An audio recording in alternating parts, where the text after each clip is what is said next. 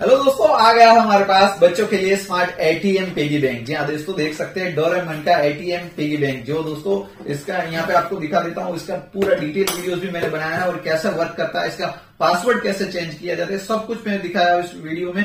आप मेरी चैनल में जाकर वो भी देख सकते हैं। आप दो, दोस्तों यहाँ पे आप देख सकते हैं इस टाइप का मिलेगा। आप यहाँ पे मैं शॉर्ट में आपको दिखाने वाला हूँ उसके अंदर जो नोट है वो डालता डाल के आपको दिखा देता हूँ।